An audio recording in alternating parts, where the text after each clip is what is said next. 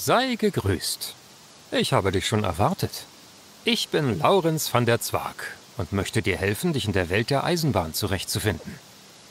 Von mir erfährst du alles, was du für den Aufbau eines erfolgreichen Transportunternehmens wissen musst. Möchtest du mit den Transporten von Passagieren, Post und Fracht Geld verdienen, musst du natürlich verstehen, wo der Bedarf für neue Eisenbahnstrecken am größten ist. Das ist beispielsweise dort, wo Güter produziert werden. Sieh dir dazu die Karte an.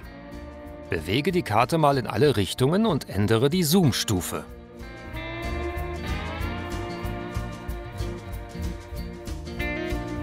Und jetzt drehe die Kamera mal in alle Richtungen. Sehr gut. Nun schau dir mal die Gegend um die beiden Städte San Francisco und Sacramento genauer an. Entscheidend für das Transportgeschäft sind Städte und Landbetriebe. Städte erzeugen Fabrikwaren, Post und Reisende. Für diese Güter besteht ein Transportbedarf zu anderen Städten. Die Betriebe auf dem Land erzeugen Grundwaren und Rohstoffe, die ebenfalls von den Städten benötigt werden. Solange keine Eisenbahnlinien existieren, müssen alle Güter auf einfachen Landstraßen transportiert werden. Doch diese Transporte überbrücken keine großen Entfernungen, sind mühsam und langsam. Das Transportvolumen ist daher nicht sehr hoch. Durch die Eisenbahn können die alten Transportwege ersetzt werden. Außerdem können Städte und Betriebe, die bisher zu weit voneinander entfernt waren, miteinander verbunden werden. Die bessere Warenversorgung lässt die Städte wachsen. Auch die Betriebe auf dem Land wachsen, da sie mehr Waren absetzen können. Schau dir mal Sacramento genauer an. Unter dem Namen wird die Größe der Stadt angezeigt. Bewege mal den Fokus auf die Stadt, dann siehst du, was sie derzeit für den Export an andere Städte produziert. In Sacramento entstehen täglich Reisende, Post- und Exportwaren. Einiges davon ist für San Francisco vorgesehen. San Francisco hat wiederum Güter für Sacramento. Du sollst jetzt eine Bahnverbindung zwischen den beiden Städten errichten, um diese Transporte übernehmen zu können. Errichte zunächst einen Bahnhof in Sacramento. Öffne den Gebäudebau, um ihn auszuwählen und bewege ihn dann auf eine gültige Position innerhalb des Stadtgebietes von Sacramento. Drehe ihn am besten so, dass die Gleise nach San Francisco zeigen.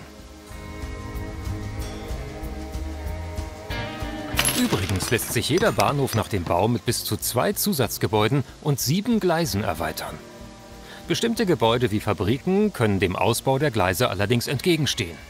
Baue den Bahnhof daher nicht zu nah an diesen Gebäuden. Nun errichte den zweiten Bahnhof in San Francisco. Bewege den Bahnhof auf eine gültige Position innerhalb des Stadtgebiets und drehe ihn am besten so, dass die Gleise nach Südosten zeigen – damit du im nächsten Schritt gut um die Bucht herumkommst. Sehr gut. Und nun errichte eine Gleisverbindung zwischen den beiden Städten. Öffne dazu den Modus Gleisbau und wähle nacheinander bei beiden Bahnhöfen das erste Bahnhofsgleis an. Die Bahnhöfe werden dann verbunden und die gesamte Strecke wird dir als Vorschau angezeigt, die du noch modifizieren kannst. Das Vorschaugleis folgt dem kürzesten Weg. Dieser ist aber nicht immer möglich und oft nicht die günstigste Lösung. Vor allem Tunnel und Brücken können sehr teuer sein. In der Übersicht kannst du sehen, wie sich die Gleisbaukosten zusammensetzen. Um den Verlauf eines vorgeschlagenen Gleises zu verändern, kannst du Gleispunkte einfügen und diese dann verschieben. Setze nun einmal einen solchen Gleispunkt, indem du das Gleis anwählst. Optimiere nun die Kosten der Strecke mit der Hilfe von Gleispunkten. Achte darauf, dass sich Länge, Steigungen sowie enge Kurven negativ auf die Reisezeit deiner Züge auswirken werden. Bestätige dann den Bau.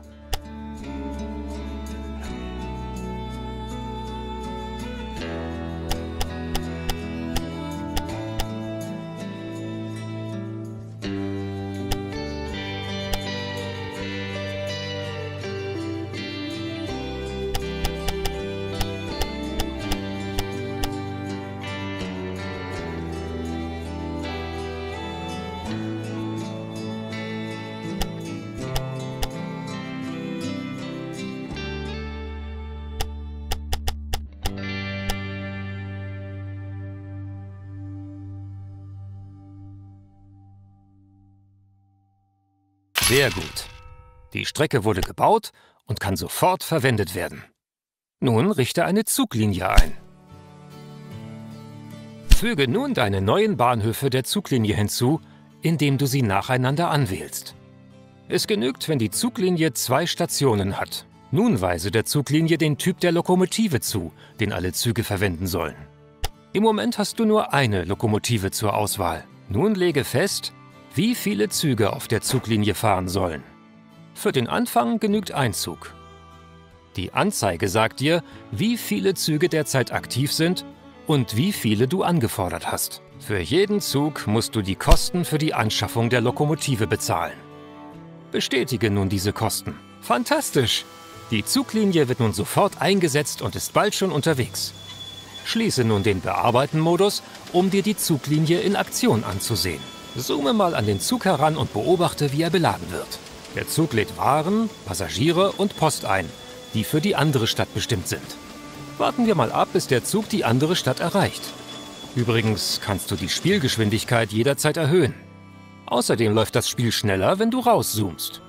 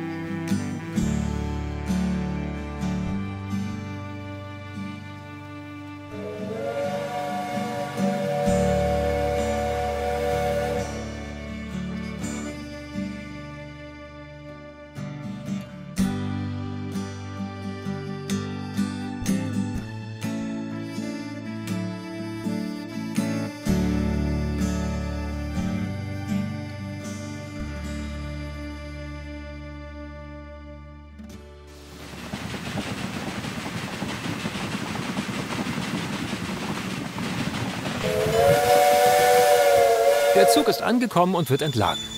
Die Zahlen, die über dem Zug aufsteigen, sind die Transporterlöse. Dies ist die wichtigste Einnahmequelle für dein Unternehmen. Allerdings erzeugt jeder Zug auch Kosten für Personal und Wartung. Doch dazu später mehr. Beobachte das Ganze ruhig noch ein wenig. Dann endet dieses Tutorial.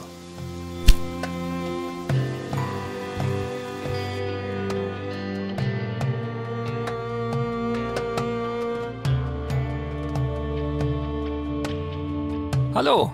In dieser Lektion möchte ich dir einige zusätzliche Informationen zum Gleisbau geben. Die Grundlagen kennst du ja schon. Doch ich habe noch ein paar wichtige Tipps. Betrachte zunächst den Viehbetrieb mit der Straßenverbindung nach Sacramento. Die Straße sagt uns, dass der Betrieb Güter an die Stadt liefern kann. In diesem Fall Vieh an die Fleischindustrie. Doch der Transport über Straßen ist langsam und begrenzt. Sacramento könnte mehr Fleisch produzieren, wenn die Stadt mehr Vieh erhalten würde. Daher sollst du nun eine Bahnverbindung zwischen dem Viehbetrieb und Sacramento einrichten. Damit ein Landbetrieb einen Bahnhof nutzen kann, muss der Bahnhof in der Nähe errichtet werden. Dies wird dir mit Hilfe einer Linie vom Betrieb zum Bahnhof angezeigt.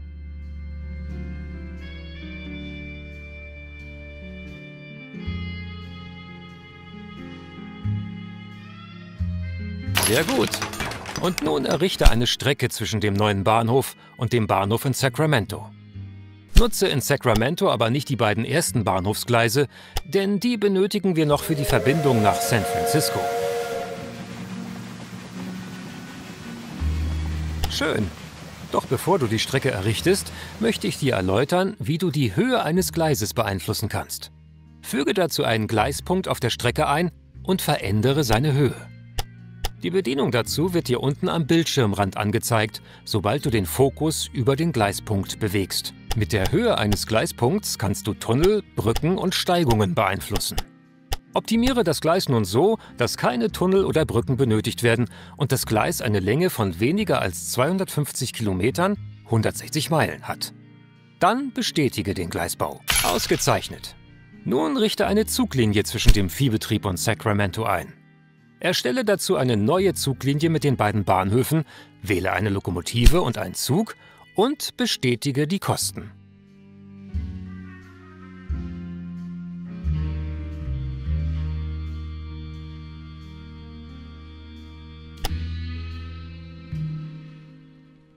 Das wäre geschafft. Die Zuglinie kann ihren Dienst aufnehmen. Doch angenommen, der Bedarf an Vieh wird so groß, dass ein Zug auf dieser Linie nicht ausreicht. Dann müsstest du einen weiteren Zug einsetzen. Das geht derzeit aber nicht, denn die Strecke bietet keine Ausweichmöglichkeiten für mehrere Züge. Daher sollst du nun ein Ausweichgleis errichten und Fahrtrichtungen festlegen, damit zwischen dem Viehbetrieb und Sacramento mehrere Züge operieren können. Öffne dazu wieder den Gleisbaumodus. Wähle nun das Gleis an der markierten Position an, um eine Weiche einzufügen.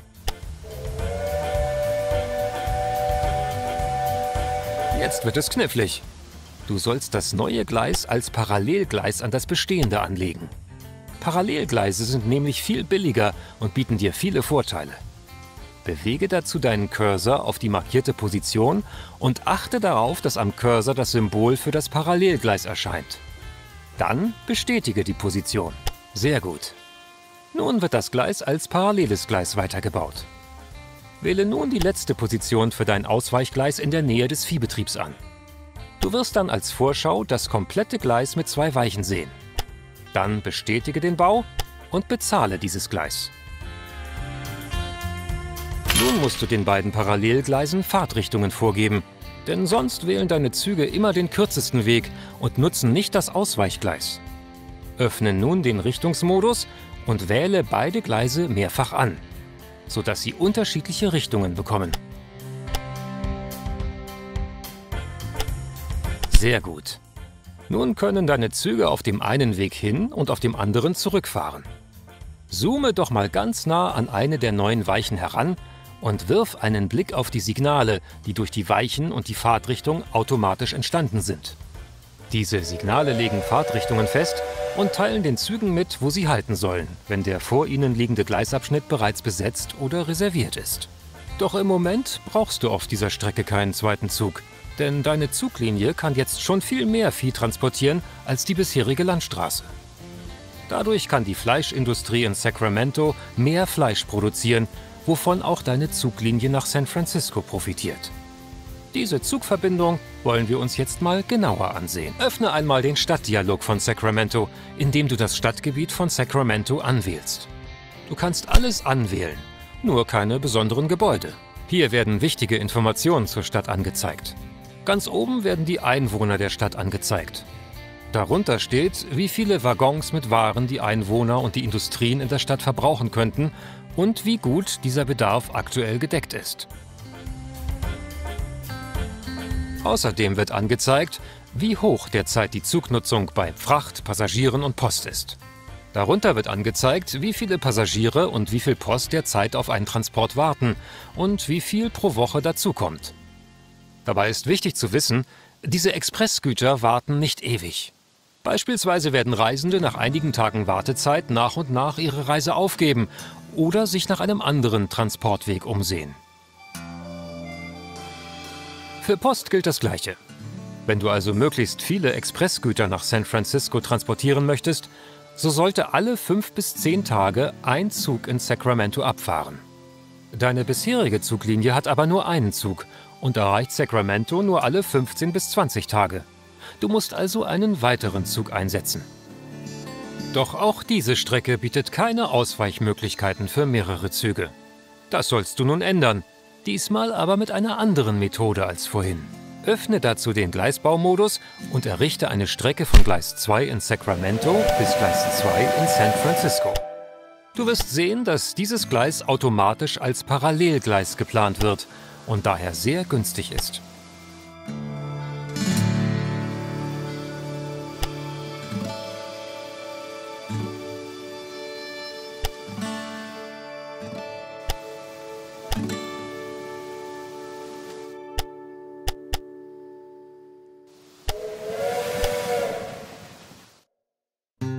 Zwei parallele Gleise helfen aber noch nicht. Wir müssen sie noch miteinander verbinden. Hierfür gibt es eine sehr praktische Methode.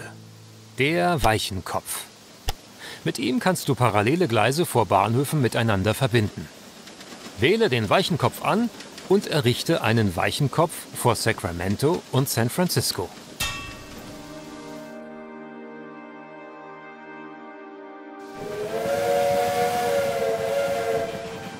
Bestens. Nun lege für die beiden Parallelgleise unterschiedliche Richtungen fest, damit die Züge sich ausweichen können. Wähle wieder den Modus Gleisrichtung an und lege für die beiden Gleise unterschiedliche Richtungen fest, indem du die Gleisabschnitte anwählst. Ausgezeichnet! Durch das Setzen von Fahrtrichtungen wurden auch hier wieder alle Signale automatisch erstellt. Jetzt ist deine Strecke auch bereit für weitere Züge.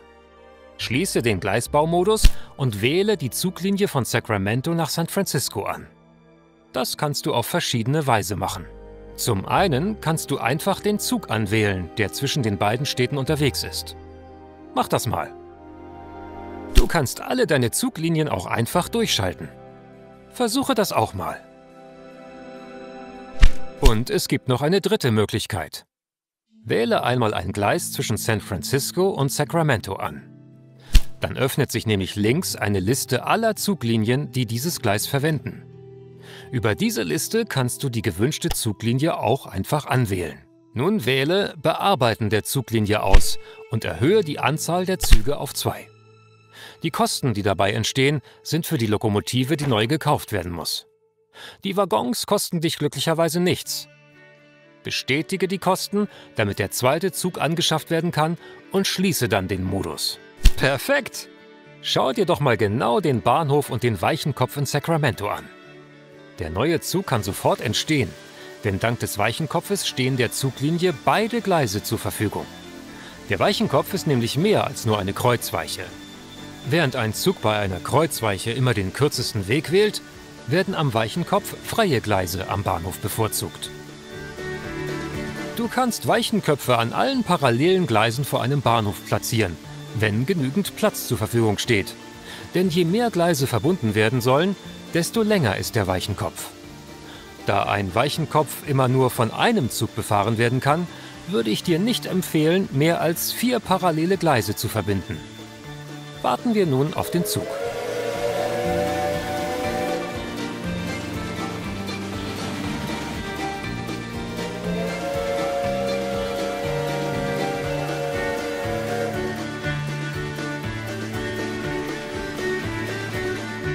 Schon ist der neue Zug unterwegs. Hier oben wird übrigens die Zugnummer des Zuges angezeigt, den du aktuell betrachtest. Schalte die Züge deiner Zuglinie einmal durch. Das ist praktisch, wenn du beispielsweise sehen willst, was die einzelnen Züge geladen haben. Und damit endet diese Lektion. Du weißt nun, wie du Weichen, Ausweichgleise, Parallelgleise, Gleisrichtungen und Weichenköpfe erstellen kannst.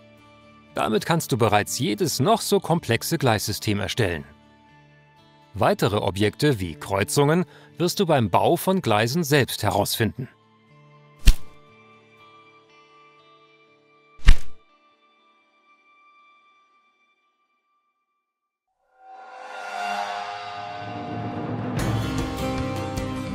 Willkommen zu meiner Lektion über die Wartung von Lokomotiven. Zunächst musst du wissen, dass alle Lokomotiven je nach Typ unterschiedliche Wartungsintervalle und Verbrauchswerte haben. Wähle mal die Zuglinie zwischen Sacramento und San Francisco aus.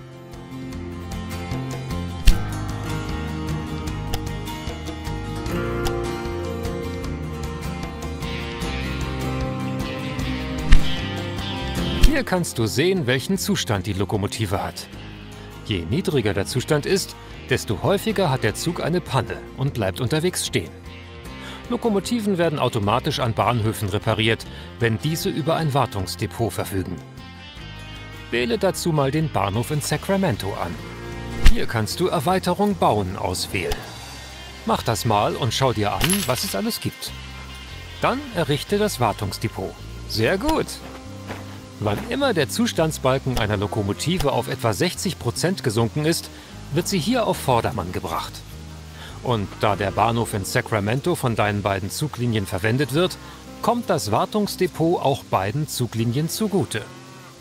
Nun schließe den Bahnhof wieder und wähle noch einmal eine Zuglinie aus. Diese drei Balken zeigen die Füllstände von Wasser, Sand und Öl an. Fehlt ein Betriebsstoff, so wird die Lokomotive deutlich langsamer. Wasser wird immer pro Tag benötigt. Sand wird beim Bergauffahren benötigt, um die Reibung der Räder zu erhöhen. Öl wird zum Schmieren der beweglichen Teile benötigt und hängt vom gefahrenen Weg ab. Alle Betriebsstoffe kann eine Lokomotive an Versorgungstürmen aufnehmen, die entlang der Strecken errichtet werden müssen. Öffne dazu mal das Gebäudebaumenü und wähle den Versorgungsturm an. Nun errichte jeweils einen Versorgungsturm in der Nähe der markierten Positionen.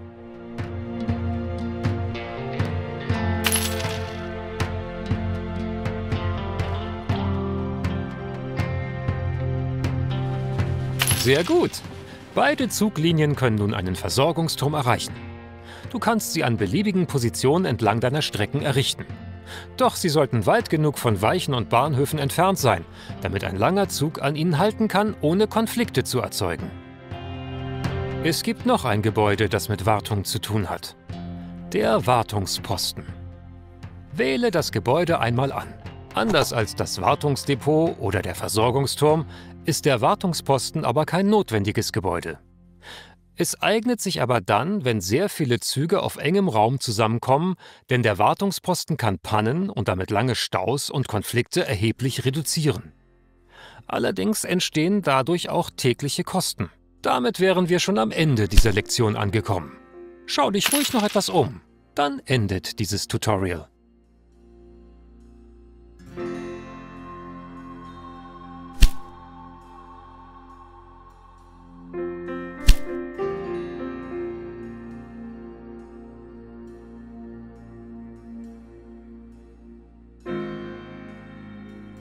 Hallo! In dieser Lektion geht es um das Optimieren von Zuglinien, also wie du die Einnahmen einer Zuglinie entsprechend ihrer Aufgaben optimieren kannst. Wähle dazu einmal einen Zug der Zuglinie von Sacramento nach San Francisco aus. Da diese Zuglinie zwischen zwei Städten operiert, transportiert sie Passagiere und Post. Diese beiden Güter zählen zu den Expressgütern, denn sie erfordern einen schnellen Transport. Folglich sind die Transporteinnahmen umso höher, je schneller der Transport erfolgt ist. Je schneller du beispielsweise einen Passagier transportierst, desto höher sind die Ticketeinnahmen. Nun öffne einmal die Bilanzen der Zuglinie. Hier siehst du neben anderen Informationen, welche Einnahmen der ausgewählte Zug auf seiner letzten vollständigen Tour hatte. Wie du siehst, spielen auch die Einnahmen für Frachttransporte eine Rolle, denn in Sacramento wird Fleisch produziert. In San Francisco gibt es Tuch. Für den Transport von Fracht werden Festpreise bezahlt. Geschwindigkeit spielt hier also keine Rolle. Nun betrachtet die Kosten. Wartung und Treibstoff werden vor allem durch die Länge einer Tour beeinflusst. Doch das Personal erzeugt tägliche Kosten. Schnelligkeit ist also auch gut. Außerdem kann eine Zuglinie auch mehr transportieren, wenn sie schneller ist. Nun ist es aber so, dass Fracht viel, viel schwerer ist als Expressgut und eine Lokomotive kann nicht gleichzeitig schnell und stark sein. Es gibt daher verschiedene Lokomotiven. Auf dieser Zuglinie wird beispielsweise eine Lokomotive für gemischte Nutzung eingesetzt. Das ist immer dann gut, wenn die Ladung höchstens zur Hälfte aus Fracht besteht. Bei einem höheren Frachtanteil wäre eine Frachtlokomotive besser denn der Zug wird sonst selbst bei leichten Steigungen sehr langsam. Wir wollen nun einmal testhalber zwischen den beiden Städten eine Lokomotive für Fracht und eine für Expressgüter einsetzen. Öffne dazu mal das Diagramm für Forschung und Entwicklung. Hier siehst du viele Technologien, die du im Laufe der Jahre freischalten kannst. Sie verbessern unzählige Aspekte deines Unternehmens. Darunter zählen höhere Ticketpreise, zufriedenere Passagiere und eben modernere Lokomotiven. Deine aktuelle Lokomotive ist die Dunham. Bewege mal den Fokus auf sie und wirf einen Blick auf ihre Daten. Vergleiche einmal Geschwindigkeit, Leistung und Eignung der Dunham mit den beiden Loks rechts von der Dunham, der Derwent und der Firefly.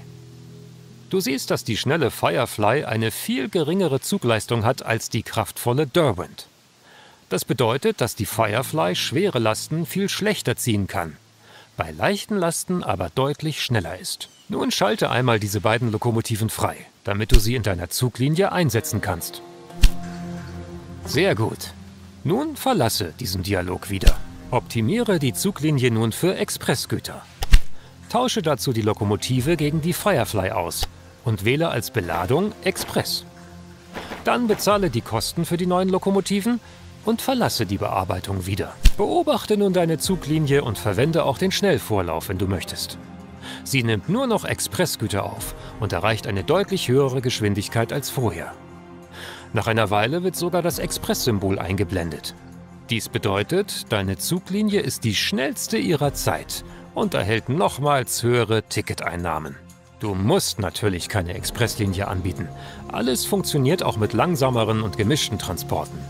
Aber mal angenommen, du hast gute Gründe für diese Optimierung, dann fehlt natürlich der Transport von Fracht. Auf den gleichen Gleisen kannst du die Fracht nicht transportieren. Das würde den Expresszug ausbremsen. Daher sollst du die Gleise von Sacramento nach San Francisco nun erweitern. Erweitere dazu die beiden parallelen Gleise von Sacramento nach San Francisco um zwei weitere Gleise. Dann errichte an jedem Bahnhof einen Gleiskopf, der jeweils alle vier Gleise miteinander verbindet. Du kannst den neuen Gleiskopf einfach über den bisherigen bauen, achte aber darauf, dass der Vierergleiskopf viel länger ist. Vergiss die Fahrtrichtungen für die neuen Gleise nicht.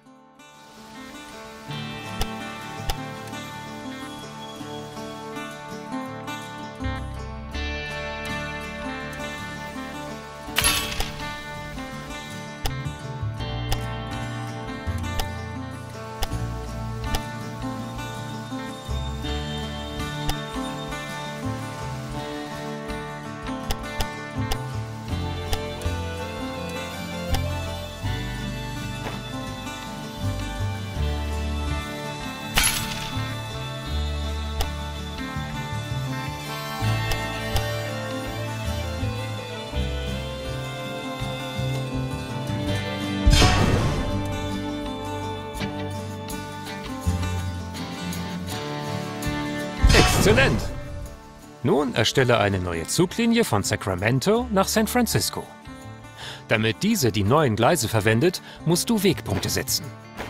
Wähle dazu nacheinander die folgenden vier Objekte an. Sacramento, das Gleis für den Hinweg, San Francisco, das Gleis für den Rückweg.